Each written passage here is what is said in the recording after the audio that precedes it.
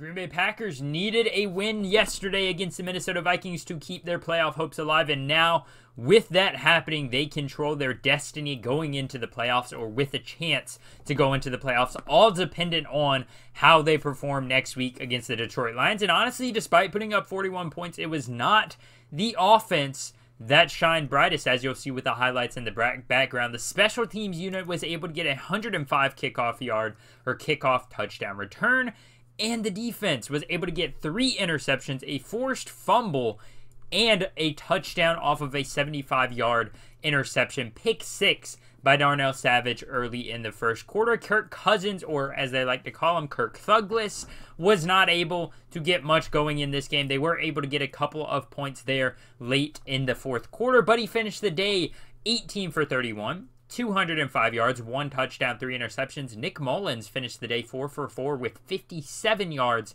and a touchdown. So maybe he's a better quarterback. I don't know. No, I'm just kidding. Not a better quarterback, obviously, but Alexander Mattison in this running game struggled to get going. He had 8 for 38. Dalvin Cook only managed 9 for 27. Jalen Nailor was actually the highest or the best receiving person on their team as far as yards go. He had 3 for 89 and a touchdown. TJ Hockenson, a lot of targets for him, 7 for 59. And KJ Osborn as well, 7 for 59. But he was able to get into the end zone there with the only, only Kirk Cousins touchdown. If you go down there at the bottom, you see Adam Thielen, one catch for 16 yards, and Justin Jefferson, one catch for 15 yards. This offense was almost completely shut down by the game or the Green Bay Packers defense. And as you'll see, the Packers offense was very, very efficient as well. Aaron Rodgers, 15 for 24, 159 yards, only one touchdown, no interceptions, though he took care of the ball. Aaron Jones, 14 carries, 111 yards, wasn't able to punch it in, but A.J. Dillon did get one for himself, 12 for 41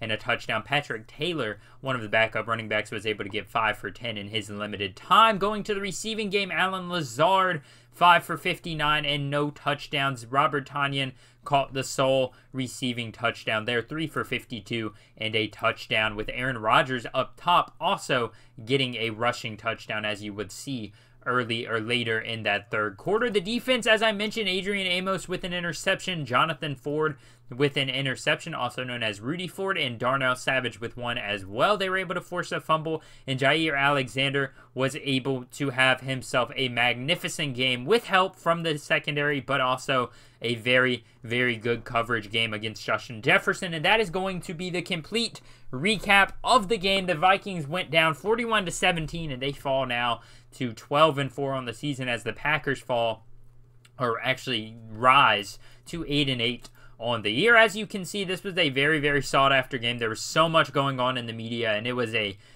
very surprising outcome. The Packers end up actually finishing with less total yards than the Vikings. The Vikings had 244 total passing yards to the Packers 152.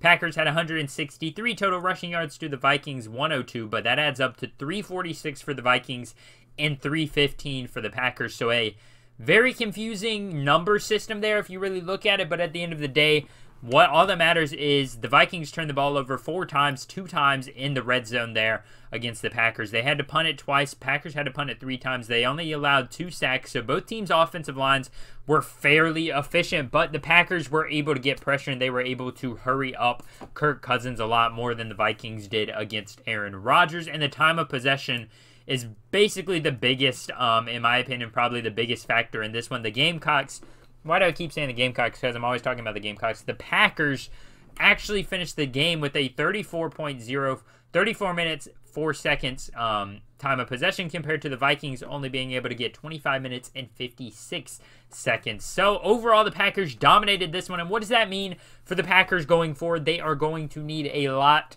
a lot of prayer and a lot of luck to get into the playoffs. And I don't mean that by saying we need this team to lose, we need this team to lose, we need this team to win, we need this team to win. No, we just need to beat the Lions. Something that, as easy as it has seemed in the past, this year is not going to be something that's that easy. The Lions have had an offense that has been very explosive, an offense that has been very dynamic all year long. They have had a great offensive unit led by Amon-Ra St. Brown. Um, Jared Goff has had himself an amazing season, especially at home.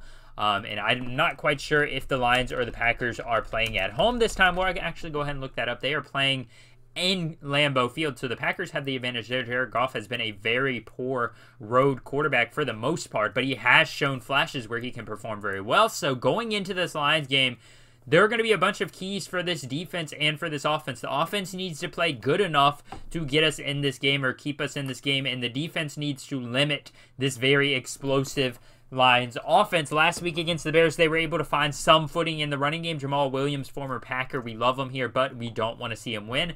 Um, Jamaal Williams found his footing as he had a, has been great this year, and D'Andre Swift also found his footing in the run game. So the Lions are very two dimensional.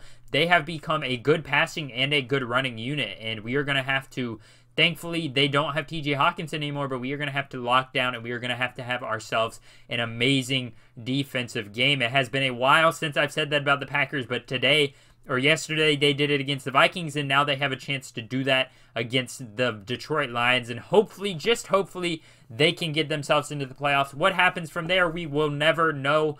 But I am very, very excited to see how we can do. And I would love to hear your guys' predictions for the Detroit Lions Packers game next Sunday, I believe. And I would love to see your guys' score predictions. What do you think we're going to need to do to win that game? As this is my first time doing a recap of a Packers Lions or Packers Vikings game or a Packers game in general, something that hopefully I can continue to do in the future. And thank you guys for hopping on this ship and joining my channel here. If you do hit the subscribe button, if you don't, go ahead and do it if you feel like the need or you feel like you enjoy my content. If you do not, I completely understand. As long as you hit the like button, turn on post notifications if you do end up su subscribing. Thank you all for watching this one. I shall talk to you guys next episode. Peace.